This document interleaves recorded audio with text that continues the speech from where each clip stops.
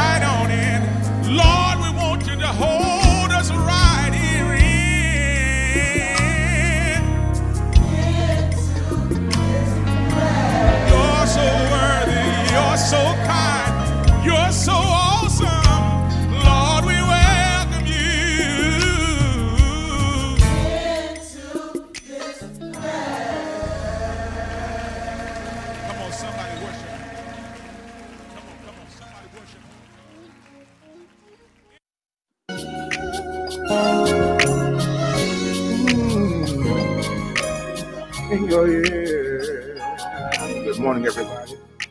Hey, I love you, Lord.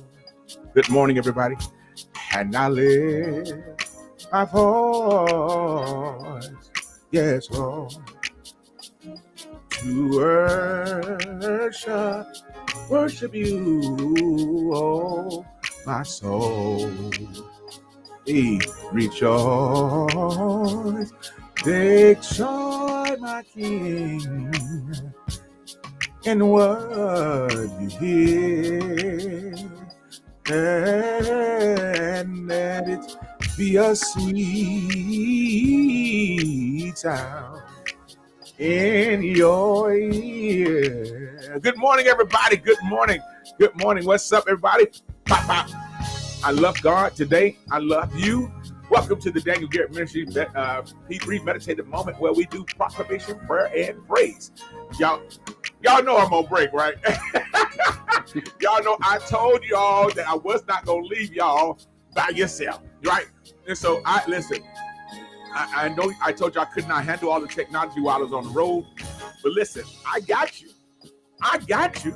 I got you. Listen, y'all see the guy over there in the nice dashiki? He finna bless y'all, baby. He finna bless y'all. He finna bless y'all. we got a little worship here. I gotta make some announcements and I'm gonna let him go. Right? Uh Lord Jesus. Here we go. Let's listen to worship real quick. Oh we exalt thee. We exalt thee. We exalt thee. Hey. Oh God, you say it with me.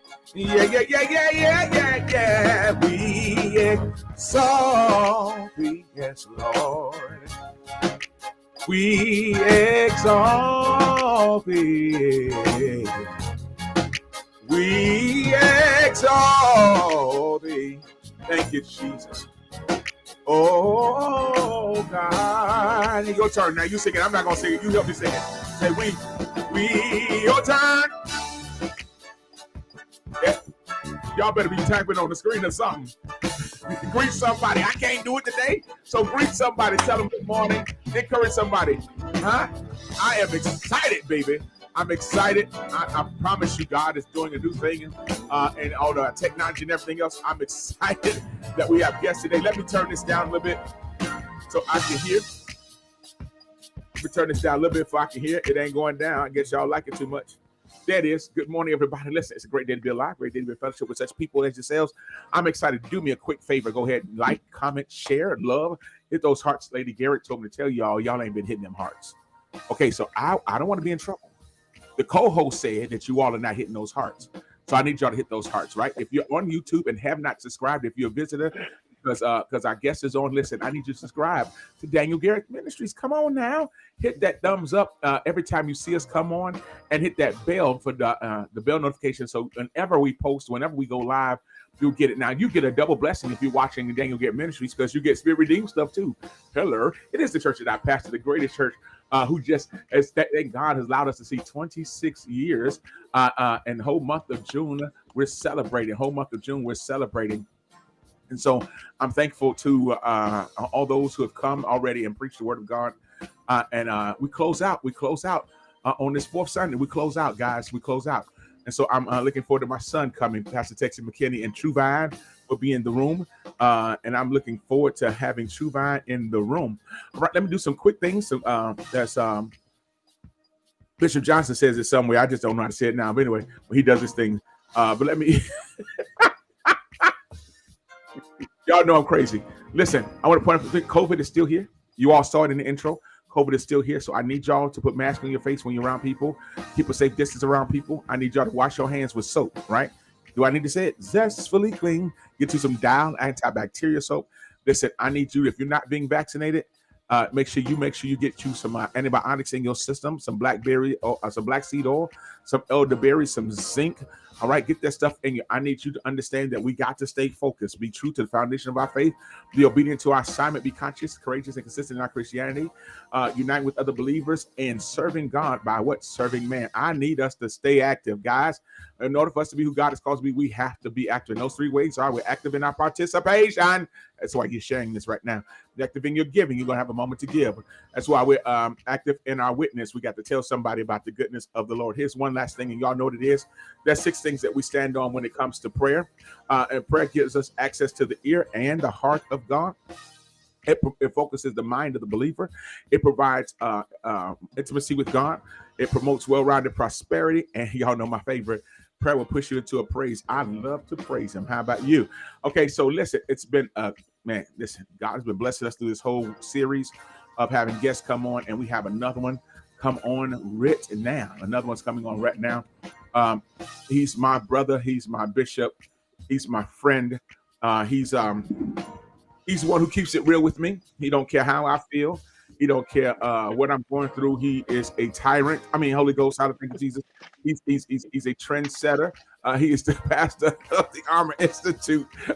I mean, pastor of the Armor of God Ministries in Naperville, and he is the president of Armor Institute uh, educational journey that I'm on right now. While I'm finishing my bachelor's, I'm also working toward my master's degree so I can be a student at the Armor Institute. Hello. Uh, so uh, we thank God for Bishop Michael Johnson. Bishop, can you hear us this morning?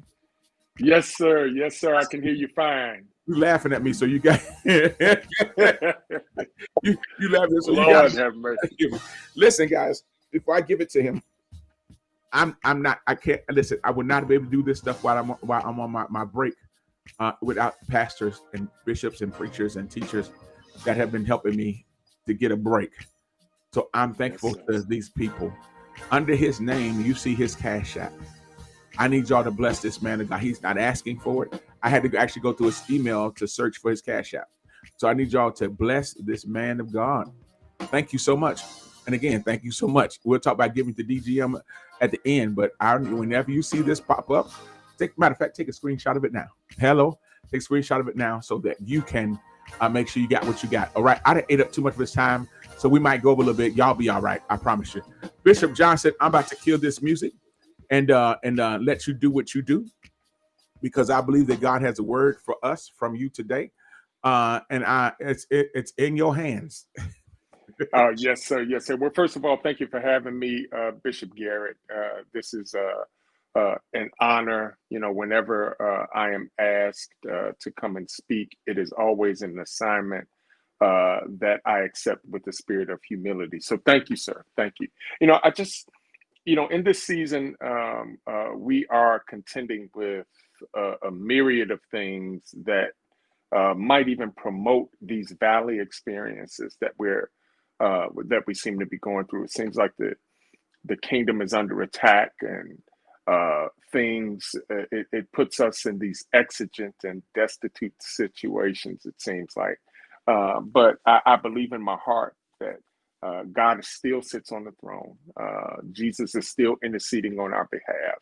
And, and so, in, order to grasp the brevity uh, of these lessons that we have to contend with, I believe it's important to just discuss the things that are important. So this morning, I, I want to talk about um, uh, this just briefly a, topic entitled "Readiness for the Sift." Readiness for the sift. So, so one of the most difficult parts of, of being a Christian, I believe, is encountering these valley experiences. Right? We there are uh, these are the experiences that the preacher tells us is just a test, uh, right? Or or mama tells us, hey, baby, it's all part of life, right? Or our friends tell us, hey, man, I know what you're going through. Uh, while we are encountering these experiences, even though they have no clue, no idea of what we're really going through, because many of us suffer in silence, don't we? Uh, so we're supposed to be able to deal with these experiences because, hey, we're, we're Christians, right? Uh, and, and God forbid we encounter these experiences in, in front of the world. Um, our, our response is supposed to be Old Testament tough, right? I, I believe in our responses, we think we're fooling the world and, and putting on a face for God, but, but we're really only fooling ourselves. And, and sometimes life can be unbearably overbearing uh, and overwhelming. Uh, you may have a day where you're late for work on the day that you have a meeting with your boss's boss, right? Let me set the stage in the scenario for you. Uh, uh, you get in your car and your car won't start. You have no money for an Uber because it's Thursday before payday. Come on, who am I talking to? You live 40 miles from work, so there's no hope of getting a ride with a coworker. And while you're sitting in the silence of your frustration, everything you've been ignoring starts to scream at you. Right? Uh, uh, they they took your income tax for child support. Somebody knows what I'm talking about. Your whole check has to go to your landlord because you're nursing uh, uh, an eviction notice. Uh, and, and you won't have money to fix your car if you give the money to the landlord. So, so you're on your last pack of ramen noodles. Your pride won't let you borrow from anyone because you have everybody fooled into thinking that you're balling. I'm talking to somebody. And you're even more upset because that $100 you gave to the church this past Sunday, because the pastor said, I need all my blessed people who can give a $100 to put it in the air and come down the center aisle. And here you come. You did because you wanted that five minutes of attention. And now here you sit in tears, wondering if you'll lose your job, which means you'll lose your apartment. And you can't even buy a breakfast sandwich, and you can't even tell anybody. Somebody confirm if they know what I'm talking about. So, so one of the most um, uh, often occurring questions that I get a- as a pastor is why does God allow bad stuff to happen to good people? A good friend of mine, strong and always on the go for most of his life, uh, became bedridden after a medical procedure. But for the last year and a half of his life, to him, uh, those that time has been the most significant, even though he's hardly had any control of his body from the neck down. If if God loves us, how can he justify or sometimes even send overwhelming odds and difficulties our way? We look in the Bible for answers and find words like uh, in First Peter uh, 1 and 7, where it says, the trial of your faith, being much more precious than of gold that perisheth, though it be tried with fire, might be found unto praise and honor and glory at the appearing of Christ. We want to believe these words. It's it's it's one thing to talk about waiting on the Lord and being of good courage, but it's another thing entirely to live it out. Right? Angels may weep because of all the suffering in the world, but a father weeps because his daughter was killed in a drive-by shooting while he was in a, a drive-through at McDonald's. Right? And he looks into her casket while he's alone viewing the body, and all he can ask is, Why, God? Why? Why does this have to happen? In, in the Sudan, in Africa, millions have been murdered and enslaved in this day. And in 2004, a tsunami killed 280,000 people. I'm going somewhere. Malaria still kills more than 2 million people every year, and the majority of them are African children. Speaking of children, more than 26,500 children die every day around the world. So if you do the math, that's 18 children every minute. Children, not adults, children. We, we memorialize events like 9 11, where 2,973 people died uh, in this act of terrorism, but twice that number died every day for 100 days straight during the genocide in Rwanda in 1994. Again, we question why. So, so if, if you all have your Bibles very quickly, if you just turn to the book of, of Luke, uh, the 22nd chapter, I'm gonna be real brief with this, right?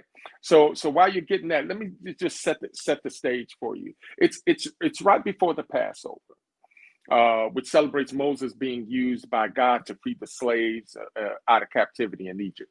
And the chief priests were looking for Jesus to kill him because they feared that the people were beginning to follow Jesus instead of them. So Judas went and made a deal with the priests to betray Jesus, and now that plan was in motion, right? But Jesus knew already he sends Peter and John to prepare a place for them to celebrate the Passover. And after they had followed Jesus' orders, they gathered there and sat down with the apostles for the Last Supper and the and the first Eucharist and, and the, the first communion. That's what that was.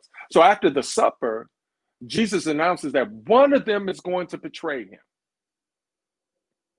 Uh, this called the ruckus in, in the upper room, or, or uh, as the Bible puts it, there was strife among them, the Bible says, which means that uh, they were arguing violently between each other about who the greatest was. So, so Jesus gives an answer in the form of a parable, and, and he says, "He who is greatest among you should be a servant," and and that their reward for this act of humility would be a seat at the table in the kingdom, which is what we all want, right?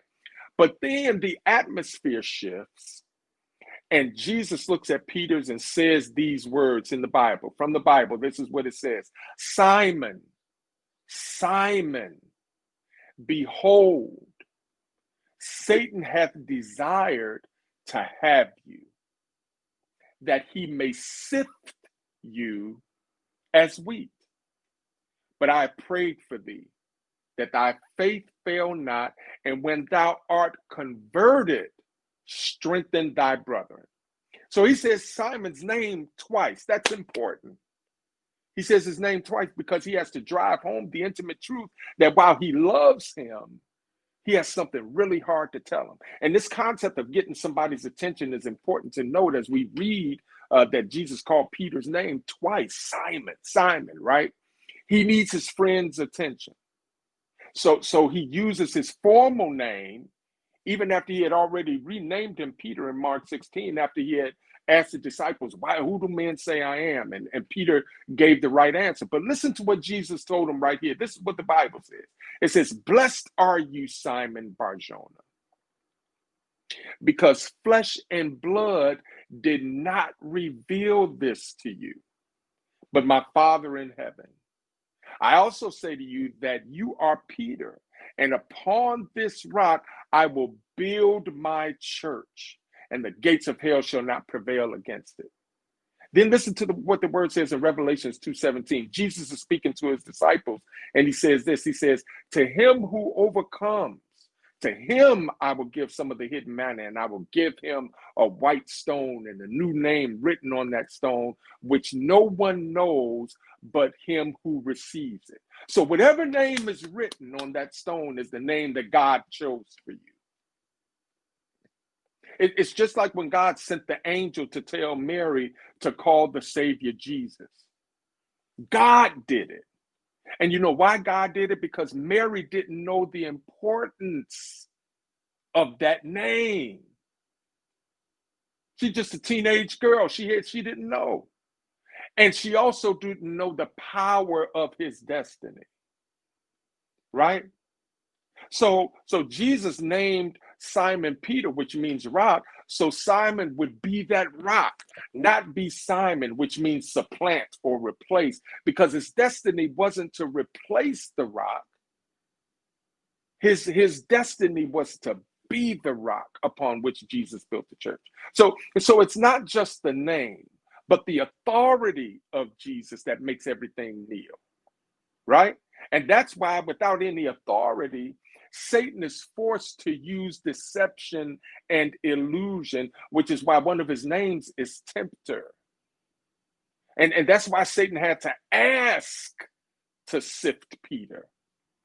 But humanity doesn't realize how oxymoronic it is that, that it is a request coming from Satan, who is reduced to having to ask for it in the first place. Y'all, y'all will get that later on in your workday. So you can't steal anything that you have to ask for first. Y'all get that? So, so Satan's requests and God's permissions have price tags that we have to pay. But even in this, we must always remember what it says in First Corinthians, uh, the 10th chapter, the 13th verse. Listen to what it says here in the word. It says, God is faithful. He will not let you be tempted beyond what you can bear.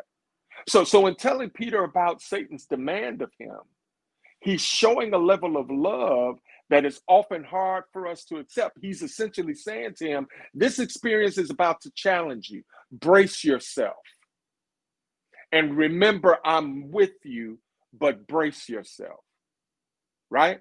He told him that earlier in the word in Matthew 18 and 7. Listen to what it says. It says, Woe to the world because of the things that cause people to stumble. Such things must come. It has to happen. It's of necessity. You can't escape it. You have to go through the valley to get to the mountain.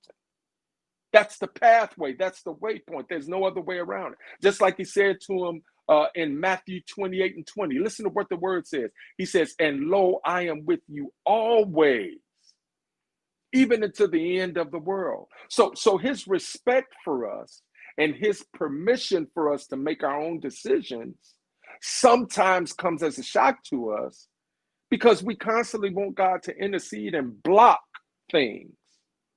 But like Job said in Job 2 and 10, listen to what the word says. It says, Shall we receive good at the hand of God? And shall we not receive evil? So, so, so let's get to this sifting. And, and, and then let's close this out. You know, sifting is the violent it's the violent process of separating the useful from the unnecessary, right? That the crushing and sorting of something whole for the purpose of isolating its nourishing core from the cage that traps it.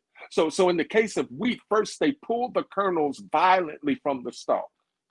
In, in Jesus' time, they were repeatedly beat against a rock by hand and smashed between two stones. Y'all ready for the sifting process? Now, now, now they use iron rollers, then a system of vacuums uh, uh, and pulls them into a venting system that looks like an accordion, right? Which opens and closes violently. The word tribulation, listen to this. The word tribulation is rooted in the agrarian reference to sifting because it's the tribulum which is a threshing sledge uh, uh, with iron teeth embedded in it, and its only purpose is to remove the husk of the grain by tearing it away. Some of these things need to be ripped out of our lives because they are no longer useful to us, not as believers. And what's left drops through a screen from the box, which sifts what is usable the chaff, the sticks, the rocks, the dirt is all thrown away. We're no different. We have to be sifted. Y'all get that now? The, the, the spiritual principle of sifting is separation that produces something valuable. It's it's like panning for gold. Y'all ever seen that? Uh, you have to unbury it, drown it with water, and shake from shake it from everything that's trying to hide it. Come on, y'all. Before the value is revealed. And when it's revealed, it usually doesn't look like what it is. When you find gold in the river, it don't look like what it is. Right? So so it, it has to go through more processes to reveal its value. That's why we have the ball mill. The ball mill is a large cylinder with a heavy spinning ball in the middle that's used in the gold refining process to reveal the gold that's hiding in the heavier nuggets. Even Satan understands the principle of sifting. But like everything else that God instituted, he creates a fake or a facsimile of it in an effort to defile it. How do we know this? Because his motivation is to separate us from the love of God by shaking us from our foundation, people. But what he does not understand, what he means for evil, God means for good. And that nothing can separate us from the love of God. Nothing, right? Now, don't get it twisted. As disobedient children, oftentimes while God is walking with us, holding our hand, we get sidetracked by a distraction and pull our hand away from his like a toddler. We run toward the distraction and, and we're tripped along the way. We fall down, we lose our balance, right? But what happens? The Father runs to us, stretches forth his hand, picks us up, dusts us off, takes our hand, and leads us away from the place where we fail and back to the path that he was leading us on. So the more I come to know God, the more impressed I am by him. Uh, uh, his insistence on human freedom of choice is so absolute that he has granted us the power to live in a place that he created like it doesn't belong to him and, and like he doesn't even exist all while blaspheming against him and, and crucifying his son. My God, taking his word out of context, opening businesses, I mean churches, right? In his name and operating contrary to his word, Only love could stop him from destroying us. Y'all get that? So let's let him love us in the spirit that he desires to. Let's be obedient. Let's believe God for all of the goodness in our lives and let him enter in and take control. Amen. Let us pray. Let me let me just pray for you. Not to us, God, but but to your name we give glory for the sake of your steadfast love and your faithfulness. Who is the King of glory? Uh, your word says that kingship belongs to you. Uh, and, and for this, we praise and magnify your name, God. Father, we come before you admitting our great need for you. We would stretch our hands to thee for no other help we know. We've assembled together in unity and coagulation to offer ourselves for enrichment. We thank you for keeping us safe and bringing us forth for another opportunity to give you this offering, God. This offering is only powerful if you receive it. So we're going to check our hands and, and check our hearts right now, our speech, to make sure they're clean so we can discuss your kingdom and how we can submit all the more to your will for our lives. Uh, we, we know that we can't achieve this by our own righteousness, but by the work that you authored and and and the work that Christ finished. Keep our minds and our hearts focused on that not on how differently we may approach an emerging theological idea or presentation of a solution you've already offered. But please give us the ethos of Invictus and humility, not for us, God, but so we can execute your will with excellence. We're already yours, so we have nothing to prove to each other. So here's our offering combined with steadfast love, assembled with the gifts you've given us, may it reach you and be instrumental in setting the captives free. In Jesus' name we pray. Amen. Amen. Amen. It's in your hands, Bishop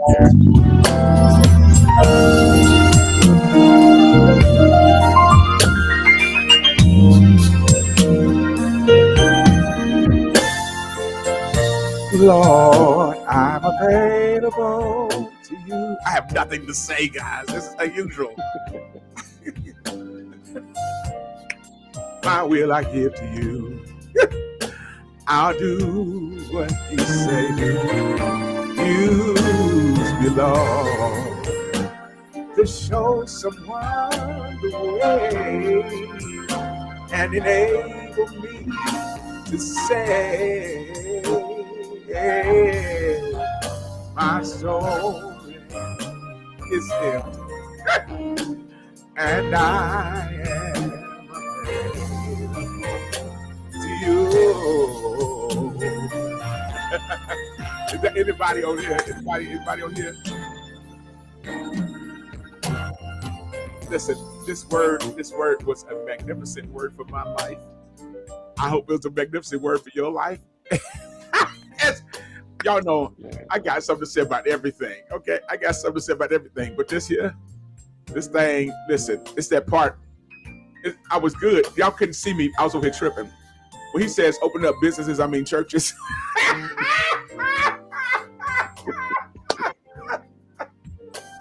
want y'all, I want y'all to know I am no more good.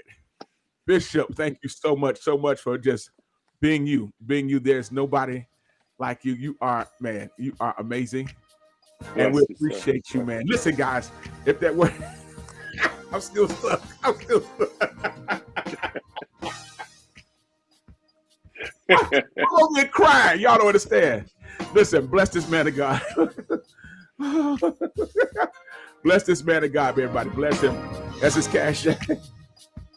if you don't have Cash App, when you give to the ministry, make sure you send a note uh, so that our team can know to send that to him uh, uh, in another fashion. If you don't have Cash App, uh, send it to the ministry. Listen, I hope this blessed you, man. I'm telling y'all, it blessed it did me. I know that's not proper English, but it blessed it did. I mean, blessed it did me, and I'm so excited about what God is doing in and through us. Bishop, thank you so much. Listen, real quick. I know, I know we're over time, but Bishop, do me a favor. Talk about the Armor Institute real fast. Talk about the Armor Institute real fast. So the Armor Institute is a research institution in the seminary. Uh, we uh, launched in January of 2022. Uh, we have uh, four master's programs. Uh, we are going to confer our master's programs before we release our doctoral program. We are a graduate institution. Uh, and the purpose of it, you know, our mantra at the Institute is to inspire the people that inspire the kingdom. Uh, so my goal has always been to get preachers before they get behind the pulpit, give them the proper training that they need uh, so that when they are behind the pulpit, they are proficient as opposed to woefully inadequate. Uh, that is not an aspersion on the kingdom uh, as much as it is an encouragement to the kingdom and to those who aspire to preach. Uh, to go to school first. If you want to do nails, you got to go to school for two years. If you want to be an anesthesiologist, you got to go to school for 16 years. So, the greatest vocation in human history, which is leading the lost to Christ and to the possibility of eternal life, don't you want to go to school before you start teaching people how to do that? So, that's what we're here for. And while there is a plethora of institutions uh, to choose from, uh, you will not find uh, an institution more invested in your future than the Armor, uh, Armor Institute. Visit us at thearmorinstitute.org. Armor is spelled A R M O U R. Look at our programs, and and you'll find uh, just about everything you need. Unlocking the Scriptures is a six-week continuing education course that we have coming up starting Tuesday. Starting Tuesday. Uh, so uh, orientation is Tuesday. You still have time to register. Uh, come on and uh, let's let's uh, learn uh, something about Christ. He says, "Take my yoke upon you and learn of me." so do that. We hope to see you in class. Thank you, Bishop. you got to talk about this one, bro. Bishop, I'm sorry. You got you got to talk about that one. Yes, That's sir. Yes, sir. So so we are doing a a four week continuing education course that's entitled "Her." uh, women in the Bible who changed human history. It is time for us to tell uh, our sister story. For so long, uh, we have placed our sisters in a box, right? Um, and and one of the things when I was writing the summary for this, I said, what can Jezebel, uh, the Bible's most devious queen, reveal about God's holiness? or its grace or its mercy or its power. What about Deborah, uh, the judge who led 10,000 Israelites into battle with the Canaanites? One thing is for sure neither of these women could be placed in the box that the modern day church has worked diligently to lock women in today. So, uh, these powerful women were leaders who emerged in, in times of great distress uh, to lead and sometimes to carry out great wickedness. And, and there were dozens of them, dozens of women in the Bible. It's time to tell their story. Uh, so, again, you can visit us at the armorinstitute.org. Click on the academics link. Uh, you'll see at the bottom of that page uh, all of the um, uh, continuing education courses that we have coming. One of them is her. Click on that it's $99 uh, and it starts August 10th through the 31st. Uh, I, I assure you, you'll be blessed. Man. Thank you, Bishop. Bishop, thank you so much. Guys, I know we're over our time, but look, uh, support Daniel Garrett Ministries. Information is right there on the bottom of your screenage. Uh, don't forget to support. Make sure you take a snapshot of this here and uh, make sure you see uh, take care uh, uh, of your blessing to Bishop Johnson. And those who on the app, you already know you can just giving the giving tab, and it will be off the chain for you.